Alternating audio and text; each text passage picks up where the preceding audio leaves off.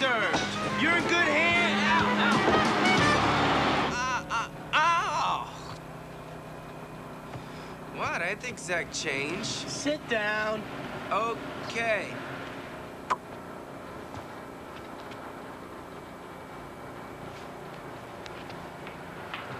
Breaker one, two, breaker one, two. Good afternoon, ladies and gentlemen, and welcome to Justice Tours. I'm juror number six. Number six, sit down. Do we have any jurors from out of town?